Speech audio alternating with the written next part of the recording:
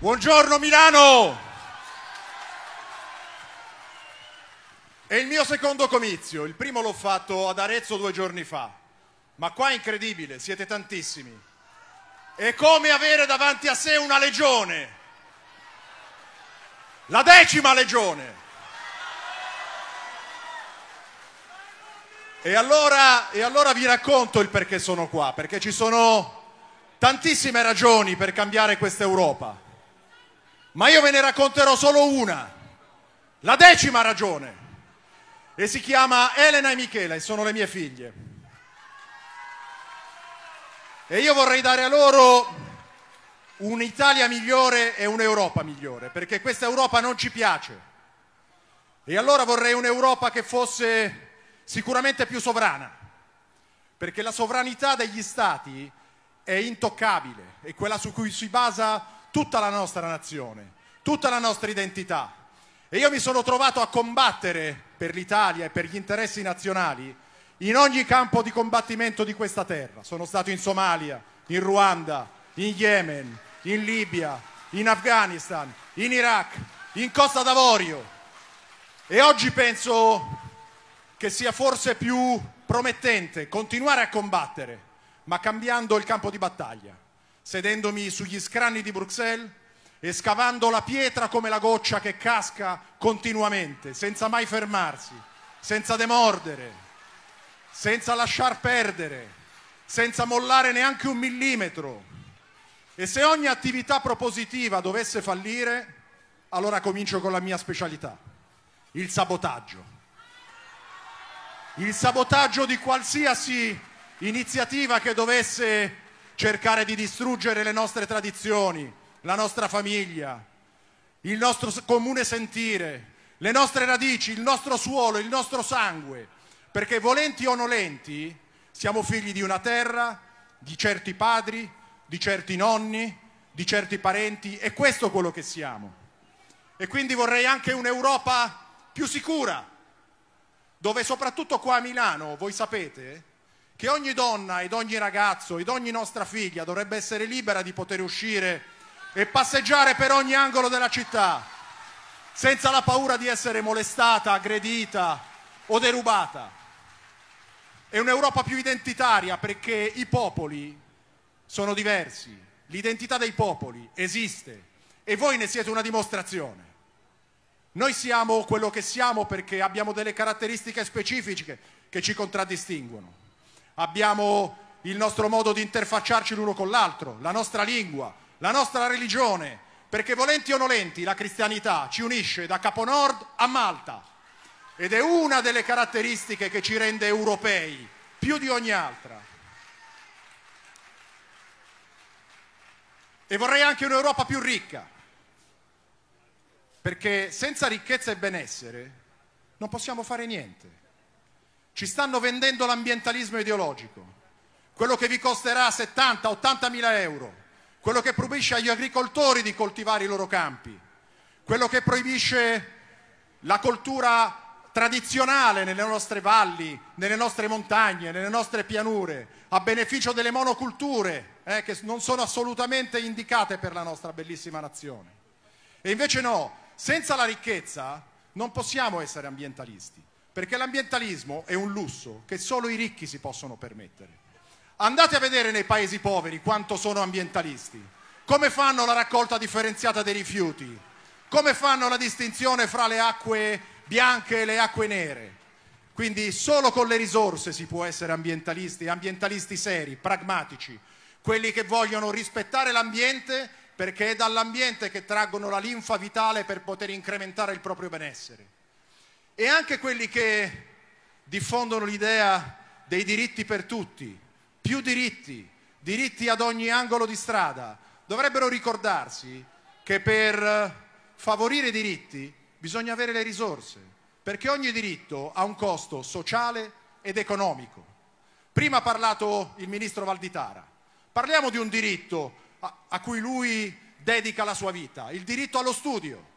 Ci vogliono le scuole, ci vogliono i professori, ci vogliono i libri, ci vogliono le strutture e tutte queste strutture costano e se non si hanno le risorse non si possono dare diritti a tutti, anzi i diritti rimangono lettera morta, un'utopia, un'esca con la quale vi prendono all'amo e vi portano a spasso per il mare. Solamente avendo le risorse si possono realizzare i diritti e noi ne vogliamo sempre di più.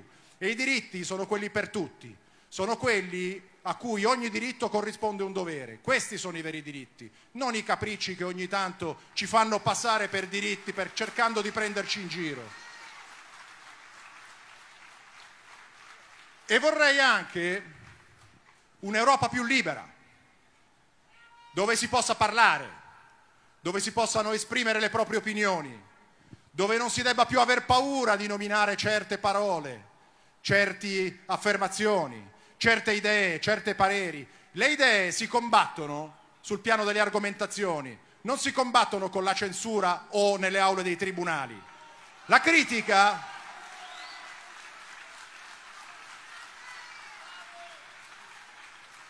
La critica è il concime del progresso e grazie alla critica, grazie al dubbio, grazie al, al, mettere in discussione qualsiasi idea, anche la più bislacca, che siamo arrivati al punto dove siamo. E qualche centinaio di anni fa un qualcuno che si chiamava Galileo Galilei è partito pure da qua, criticando quella che era considerato il pensiero unico e ha rischiato di essere messo, di essere messo a rogo. Quindi evviva la libertà, è questa l'Europa che noi vogliamo, un'Europa dove il diritto alla contestazione e alla manifestazione sia sacrosanto, ma debba adeguarsi alle regole dell'ordine pubblico. Debba adeguarsi alle regole dell'ordine pubblico. Quello che mi fa rabbrividire non sono i cordoni di sicurezza di poliziotti e carabinieri, non sono le forze dell'ordine. Quello che invece a me fa rabbrividire sono i giovani e i manifestanti che sputano sui poliziotti e li prendono a calci. È quello quello che mi fa rabbrividire. È là che sono convinto che abbiamo sbagliato qualcosa. E inoltre, e infine, vorrei un'Europa più meritocratica. Un'Europa dove un giovane, armato dei propri meriti e delle proprie capacità, possa realizzarsi nel miglior modo possibile perché da soldato sul campo di, di, battaglia non lasciamo indietro nessuno, ma facciamo volare chi ha le ali, facciamo galoppare i puro sangue nelle praterie, perché loro saranno il traino di tutti quanti. Questa è l'Europa che vorrei, vorrei un'Europa dove il sogno americano diventi il sogno italiano ed europeo. Lasciamo spazio a chi ha le capacità, a chi ha i meriti, a chi vuole realizzarsi. Questa è l'Europa che vorrei. E siccome ultimamente ci stanno vendendo un altro concetto, no? quello dell'inclusività, dobbiamo essere inclusivi, dobbiamo aprire le nostre case a chiunque voglia entrare, dobbiamo condividere i nostri pasti, dobbiamo accettare tutto. E invece io che sono una persona notoriamente controcorrente, non so se ve ne siete accorti,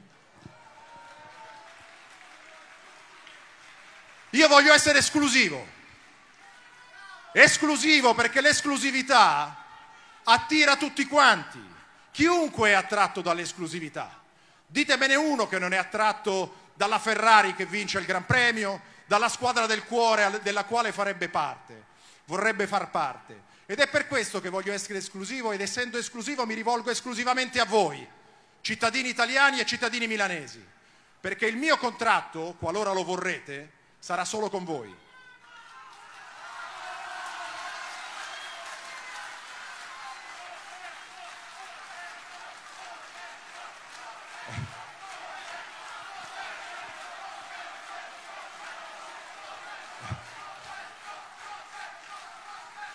Perché io voglio difendere i vostri interessi e quelli di nessun altro, gli interessi dei cittadini italiani come voi, dei milanesi, gli interessi degli agricoltori italiani che devono essere liberi di coltivare il loro campo, devono essere liberi di produrre tutti quei prodotti che sono l'eccellenza nel mondo intero, gli interessi degli imprenditori italiani che non devono vedere il frutto del loro sacrificio e della loro determinazione svenduto alle banche e alle multinazionali e gli interessi degli studenti italiani, che non devono essere pervasi dalle ideologie di genere e dalle teorie mistificatorie e antidentitarie che l'Europa ci vuole diffondere.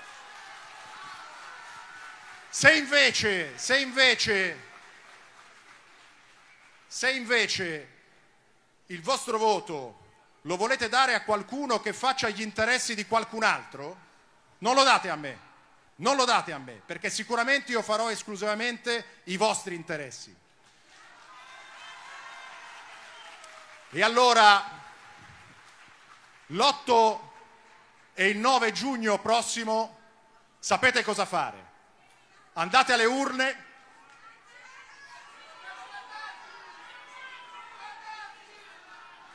Votate per la Lega e scrivete il nome Vannacci sulla scheda. E al vostro segnale scateneremo l'inferno.